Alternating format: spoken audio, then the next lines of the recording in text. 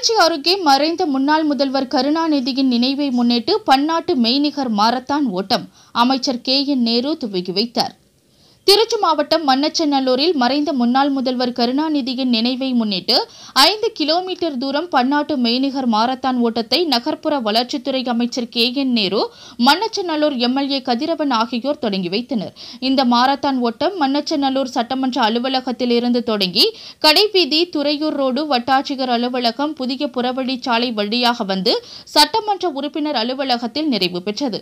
இந்த மாரத்தான் ஓட்டத்தில் மன்னச்சநல்லூர் சட்டமன்ற தொகுதியில் உள்ள பல்வேறு கிராமங்களில் உள்ளவர்கள் மட்டுமல்லாது திருச்சி அரியலூர் கரூர் பெரம்பலூர் போன்ற மாவட்டங்களில் இருந்தும் ஆண்கள் பெண்கள் சிறுவர் சிறுமிகள் என ஆயிரத்தி ஐநூறுக்கும் மேற்பட்டோர் பங்கேற்றனர். இப்போட்டியில் வெற்றி பெற்றவர்களுக்கு முதலாவது பரிசு ரூபாய் பத்தாயிரத்தை மன்னச்சநல்லூர் அருகே திருப்பஞ்சீலியைச் சேர்ந்த பிரகாஷ் இரண்டாவது பரிசு ரூபாய் எட்டாயிரத்தை கரூர் மாவட்டத்தைச் சேர்ந்த ரெங்கராஜ் மூன்றாவது பரிசு ரூபாய் ஐந்தாயிரத்தை மன்னச்சநல்லூர் அருகே பிச்சாண்டார் கோயிலைச் சேர்ந்த கார்த்திக் ஆகியோருக்கு பரிசுத் தொகை மற்றும் கோப்பைகளை மன்னச்சநல்லூர் எம்எல்ஏ கதிரவன் வழங்கினர்.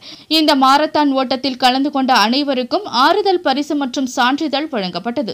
இந்நிகழ்வில் திருச்சி வடக்கு மாவட்ட செயலாளரும் முசிறி தொகுதி எம்எல்ஏவுமான காடுபெட்டி தியாகராஜன் மன்னச்சநல்லூர் யூனியன் சேர்மன் ஸ்ரீதர் துணை சேர்மன் செந்தில் உள்ளிட்ட திமுக கட்சி நிர்வாகிகள் பங்கேற்றனர். செய்திகளை உடனுக்குடன் தெரிந்து கொள்ள மீடியா செவன் தொலைக்காட்சியுடன் இணைந்திருங்கள்.